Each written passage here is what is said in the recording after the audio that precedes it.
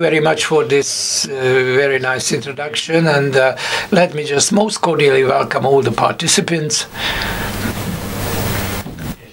and uh, I'd like to give you some insight from the chapters from the history of IT security.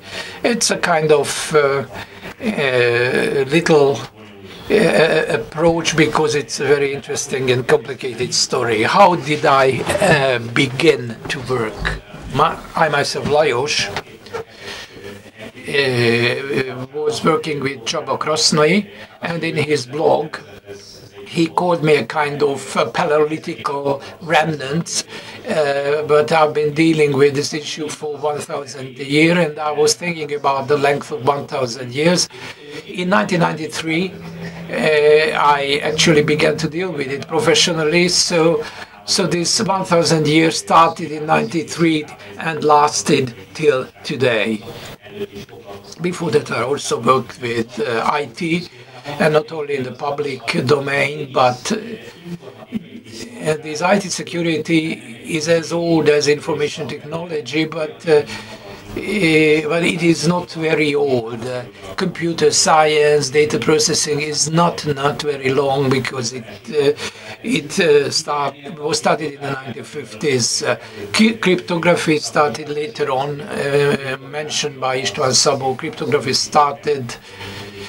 One that, that started much earlier during the the medieval and and archaic times. Uh, but uh, IT development of IT and cryptography uh, has strong correlation. in the beginning, it was there was the, the security was a DOD problem, the Department of Defense. This is the uh, the military ministry of the United States. It was its uh, privilege. Why DOD? Uh, it was uh, the only who really cared and who had the money to to uh, make people do uh, individual research. Uh, army needed lots of computers and could pay for it. Um, I don't know if you remember that the first electronic uh, computer. Why was it important to develop the first electronic computer? Uh, trajectories they needed trajectories for for uh, the gunmen for uh, batteries. And uh, actually uh, trajectories were, were, calculated for the large guns uh, long range guns and hundreds of mathematicians calculated these long range guns trajectories but not only trajectories were calculated with it, but in the 1950s, the development of the hydrogen bomb uh, also required electronic computers, and later on, American strategic uh, air defense uh, system control systems appeared uh, with electronic computers, and uh, this is why the the problem of security uh, had arisen. In 1958, DOD uh, started an advanced research project. Uh, that was the ARPANET, which is a kind of predecessor of the present day Internet. Uh, agency began to develop it uh, with certain requirements, uh, storage, transfer, should be highly reliable, should cover the whole of the United States geographic area that was our ARPANET. It was so much military uh, related that uh, even in 80, 80 and 80, 81, uh, it was called DOD standard for transmission control protocol. So ARPANET uh, was a standard within the DoD, and uh, this is how it moved into the public domain. And DoD, uh, under the umbrella of DoD, different developments started in 1961, compatible time sharing systems, CTS system, appeared on an IBM 709, uh, which made possible for many computer users to use the same system at the same time uh, in a time sharing uh, mode of operation. But it raised lots of problems uh, because on these systems, these were military systems, state systems, very well protected.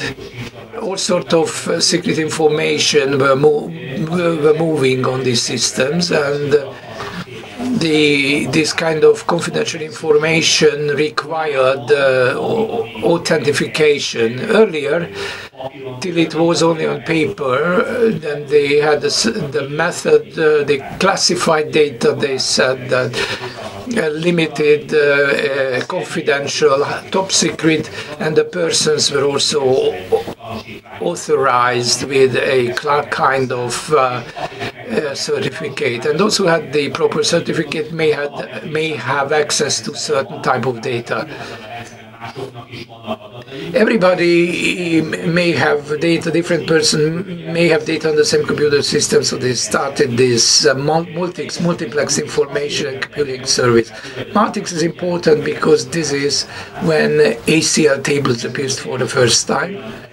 That was the first such system where there was a kind of rule for access and protection uh, with lots of other questions and issues. And the DOD uh, took it so seriously that in 1967 uh, produced a special task force uh, with the participations of university and industrial engineers and uh, the Defense Science Board was created uh, to deal with uh, the hardware and software issues of IT security. This group uh, did its work and the Willis uh, Ware, War, who was the leader of the group, was uh, a highly professional person, a guru, uh, worked together with John von Neumann, who is of Hungarian origin, um, and with his leadership, and uh, on the basis of his notes, a report of Defense Science Board Task Force was created, of which I'd like to show you a diagram. This diagram uh, is maybe interesting to younger persons for uh, from two aspects. This is how a computer system looked like at that time. There was something which was called processor or computer uh, with all sort of communication lines and a kind of switching center, a telephone center, PBX was connected to it, uh, to a remote terminal. But this remote terminal is uh, not a, a, like a PC of today, but it was like an electromechanical typewriter, uh, which uh, really made noise, uh, wrote everything on paper the data transfer speed was very high, 20 something characters in a second from uh, from this from a minute it went up to faster regions. So that at that time was considered high speed but at the same time, if you take a look uh, at the point of threats appearing on this diagram, these threats existed already in 1970. More or less, they were the same kind of threat, uh, threats that we we have today. Yeah? But lots of new things appeared, uh, uh such as, um, uh, for example, such virus, malicious virus program uh, existed only in theory, but there was a theory for it. But they uh, talked against protection against radiation, and they had to take it seriously.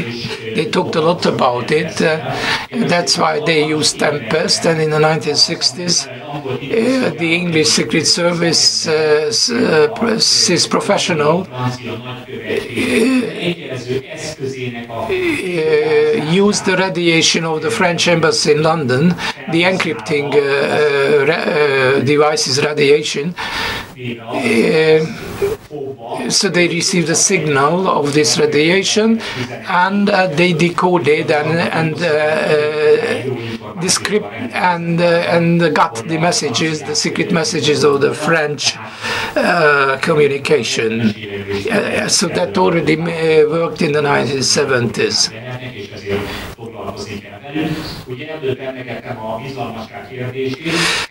I mentioned uh, uh, confidentiality, and in 1973, Bell, Leonard, Padula, Lapla, Padula uh, produced a mathematical model for uh, a secure computer system.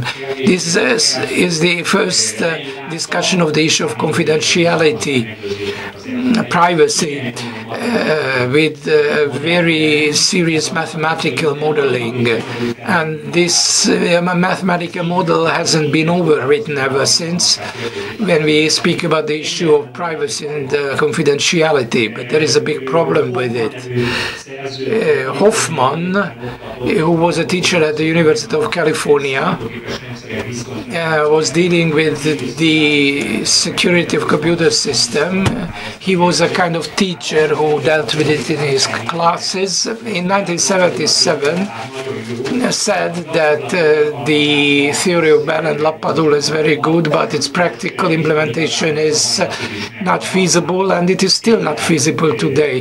The theory uh, or the thesis is taught as some starting point and we must use its practical sense but uh, to translate it into computer languages uh, well nobody really have uh, uh been successful in it or, or at least there is no publication about it.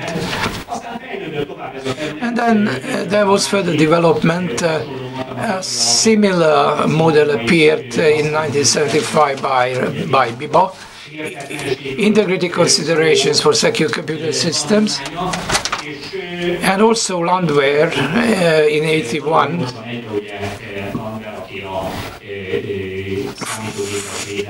Mm, came up with the formal models for computer security with the mathematical model of um, computer security. And this model is more or less valid uh, up to date. So, uh, at the beginning of the 1980s, uh, it has become accepted that CIA, the CIA principle that confidentiality, integrity, and uh, and availability are the, the basic things that should be protected for computer systems. And uh, the, the DoD, uh, military, and also appeared in the public domain in the civilian sphere.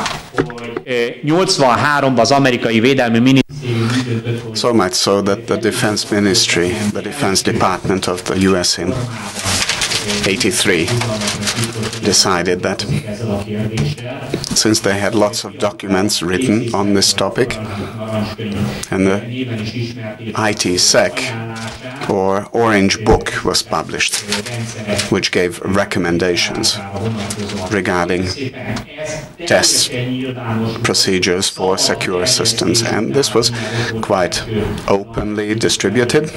It was in the public domain as it said on the cover sheet because the Department of Defense realized that much as they were funding lots of research projects, it would be nice to have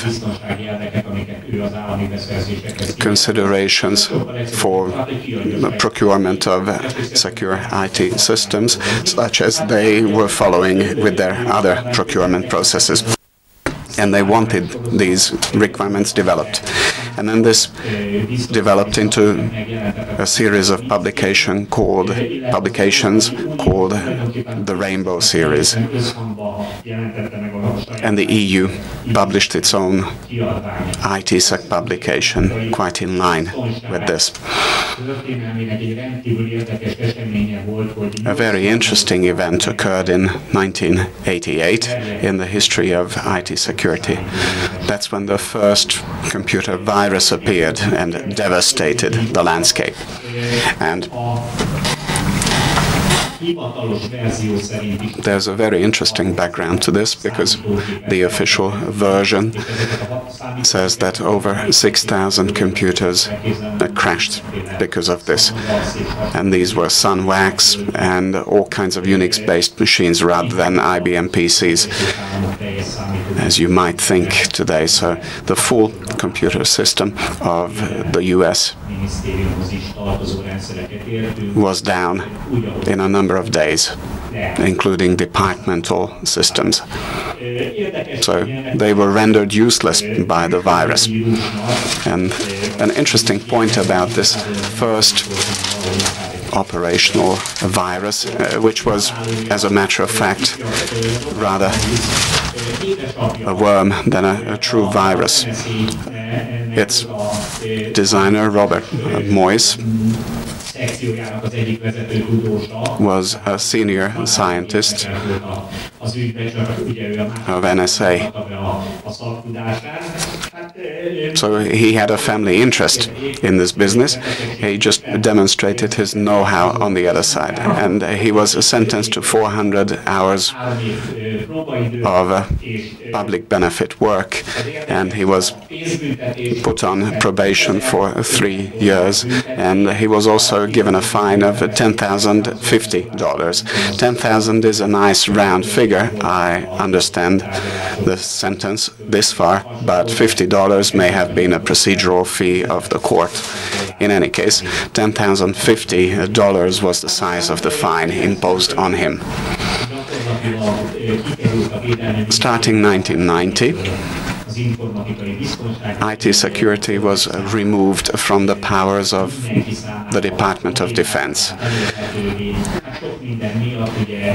It became a, a concern for everybody and it had wider implications because of the emergence and the propagation of uh, the PC architecture and the internet, e-commerce, uh, cryptography, encryption included the SSL and Kerberos system approaches and so on. So security became a growing concern for a, an ever wider public. New answers had to be provided. So as opposed to the Orange book that was about logical defense, new publications appeared. Common criteria was one of these regarding the security of products and systems.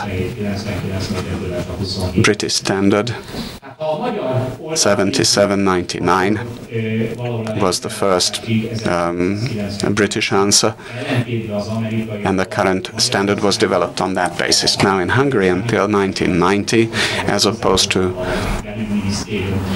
the Anglo Saxon world, the Interior Ministry was responsible for security, and it was Division um, 3 slash 3, not the political police, but it rather was the task of 3 slash 5 dealing with the technical issues.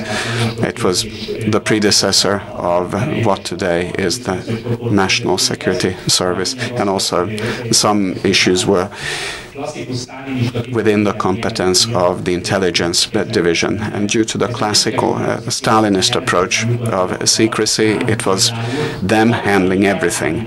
And as opposed to the Western world, military uh, counter espionage also belonged to 3 slash 3, um, the division of the Interior Ministry, and they were quite tough on these challenges. They were very tough indeed. They published the decree in 81 on IT systems, secrecy and property protection and fire protection. How serious were these rules? And today I would say that it was a senseless uh, secrecy system. I was a professional soldier at the time, and I was the IT chief of a division of the military, and I was in charge of a data center, including computers produced by Hungary's Videoton and were available to anyone, such as BT, uh, VT20 version 8.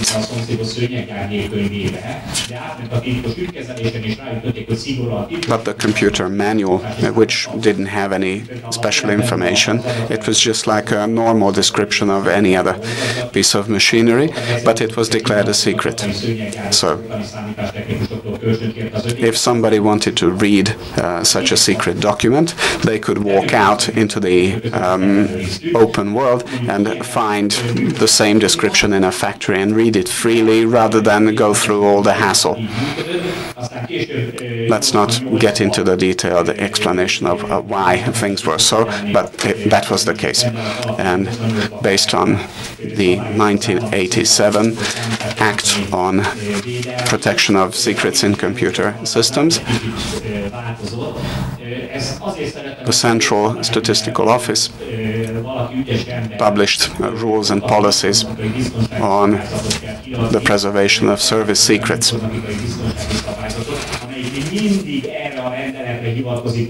We still see examples of certain IT security uh, rules that refer back to this old piece of legislation, including my favorite town, the city of Veresegyház the municipal department published their own rules with reference to this old act. And there's only one problem with this. The Central Statistical Office no longer had any competence after a while, and this decree was repealed in 2005, and yet there are some small guys who can still sell security policies on those grounds.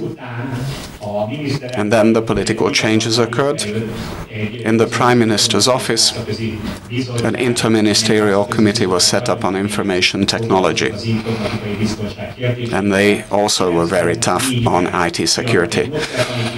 In 94, they published a methodology handbook, recommendation number 8. And then in 96, recommendation number 12 was published on IT security requirements. And to this day, I take pride in this. We didn't have so much information at the time, but at BS 77 um, 29, our publication was on par with the British standard. So it was our achievement, not only logical defense, but also administrative and policy based defense mechanisms were decried and uh, described. And then 1.0 version was uh, borrowed and lifted into recommendation number 16 of this uh, body. And lots of recommendations made their way into uh, this set of rules. Who were the first experts in this field? There weren't a lot of us. If we went to a conference, there were 30 something of us, and people we didn't know were probably the doormen or some technical staff. So it was a small circle, let me highlight, of the experts. And now this is a bit slower than I thought, but let me speed it up. Dr. György Pop is one person I'd like to highlight here, who was the IT security expert on the Interministerial Committee. He was in charge of IT security projects and actively contributed to their work and he was the grandfather of these ideas. And there's all kinds of names uh, of colleagues. This isn't a full list, so don't take offense if you believe you should be in the list and you are not. My memory is about to fail me, so these are the names that I managed to gather. And still, in the 90s, I think we had major achievements. We put major results on the table. Even if we didn't catch up with the, with the US, we caught up with the rest of Europe. So we started to emerge in the security field. Thank you for your attention. Do you have any questions? Without the mic, unfortunately, the interpreter could not hear what the question is. Yes and no. That is the answer. We were way behind, lagging behind in many ways because secrecy was paramount in our case, and we were also lagging behind because IT systems in our case at the time weren't our own development, so they were the Comecon single computer architecture. And the IBM 360 370 was the basis of the single architecture. So it was just a, a plagiarism based on the IBM architecture. And that's why it was so strictly kept a secret because just imagine ladies and gentlemen what IBM would have had to say if they found out that the Comecon uh, system used a Polish remake of their IBM architecture. So that's why it was a top secret and heavily protected by Division Number 3 of the Interior Ministry. And to this very day, the details of what people were doing there um, are not in the public domain. So let me just say that yes, we were lagging behind, but not in every way. Thank you very much. Thank you. Again. Yes. That's a tower. That's an HP tower. Well, I know that I'm to ask a question, and the prize will be this tower. Who can tell me about the Tempest anti-radiation group, which is uh, well known and uh, much liked? When uh, did they begin to use the Tempest uh, group? Uh, which decade in the IT environment? 50s? Who said 50s? Yes, you win the prize. Yes, it was one of the earliest achievements that caught our attention. And let me add that radiation was very different from what it is today. Um, nowadays we use solid state and all the systems at the time were based on electron tubes. And it wasn't like an office block full of computers. There was only one mainframe, but heavily guarded. In the military headquarters, at the data center uh, top, there was a very uh, intensive water-based shielding system so that uh, the radiation could not even be measured using a satellite.